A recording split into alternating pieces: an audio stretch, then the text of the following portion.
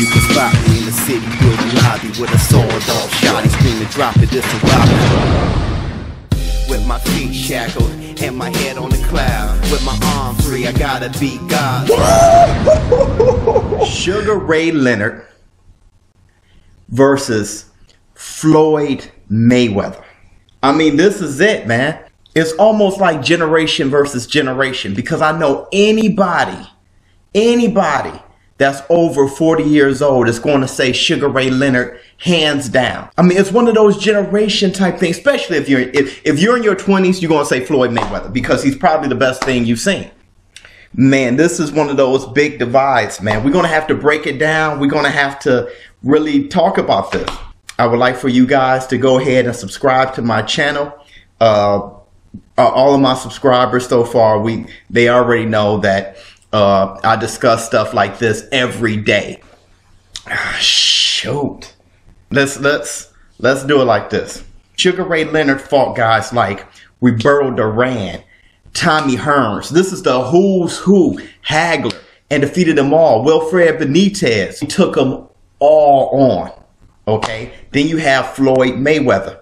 He took them all on. Sugar Shane Mosley, Oscar De La Hoya, Canelo, Corrales, they both really cleared out their generation. During Sugar Ray Leonard's day, fighters were busier, and I mean in the ring. They were busier with their hands. The point system was different. I judged, uh, for example, I judged um, Ali versus Joe Frazier, the first fight, and I gave it to Ali based on how we judge fights now. If Floyd Mayweather fought then with Sugar Ray Leonard, his output would be different. So it's hard. It's hard because you, you, you got to take out the culture and just take what they bring to the table and try to imagine how they would take on each other. They both went to the Olympics. Um, Floyd Mayweather was cheated and Sugar Ray Leonard, he won the gold. Both of them are just, they've always been the best. Integrity. They both were dragons. They both were animals in the ring. They both had lion heart. Sugar Ray Leonard, who was getting outboxed by Tommy Hearns and decided to slug with him for Christ's sake. He showed what he could have done to Duran in the second fight, no mas. But in the first fight, he decided to slug with him and it went a split decision. Sugar Ray Leonard banging and brawling with Duran. That's the type of heart he has. And he did that because he was emotionally compromised. He could have whooped Duran as easy as he swept him the second fight. Floyd Mayweather. He's barely 147 pound fighter. Really. Uh, the guy is a small guy, but he will still fight at 154 and weigh in on the scale at like 150, 151 and probably lose weight on night of the fight. He took on Oscar De La Hoya at 154. He took on Cotto at 154. He caught Canelo at some catch weight. And you see Canelo's fighting at middleweight right now. And that was a young Canelo with an aging Floyd Mayweather.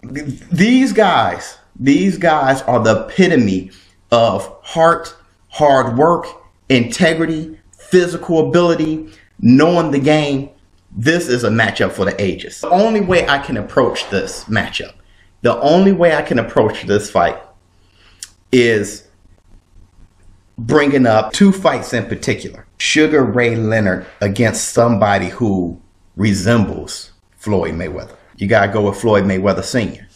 In that fight, in the beginning of that fight, Sugar Ray Leonard had issues. One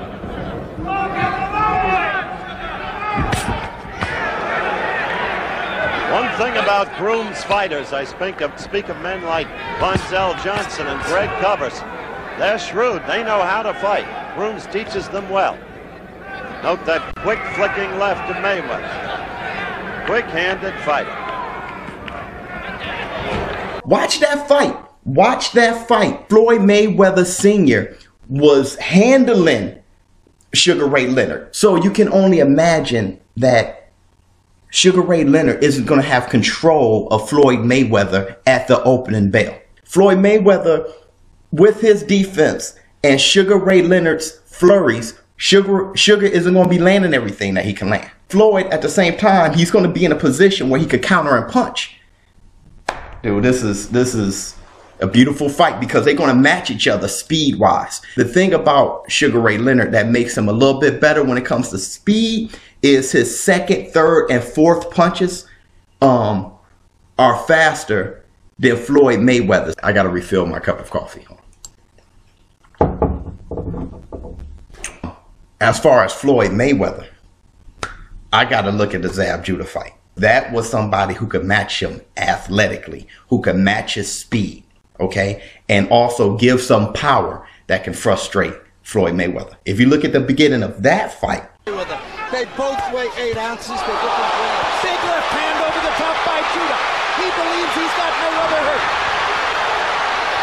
Crowd is going wild. Floyd Mayweather was outmatched. Let's say Zab could have uh, kept that pace. Let's say he had the champion heart of Sugar Ray Leonard. That outcome would have been different. Not saying that Floyd Mayweather wouldn't have adjusted to that. I'm just saying that outcome would have been different. Yeah, that fight would have been definitely closer. I say they both meet.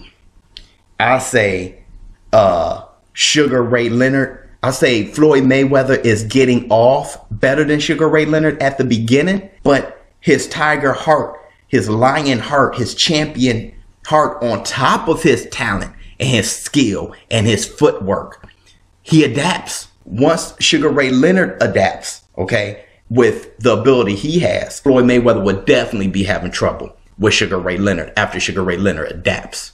Guess what? I think Floyd Mayweather adapts after that. Floyd Mayweather doesn't pack the power to knock Sugar Ray Leonard out.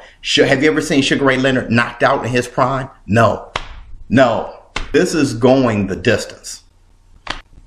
If I were to, to choose who wins this fight, and it's not easy, it's not easy. I'm going to give the victory to Sugar Ray Leonard just due to output alone. But that's another thing I want to add.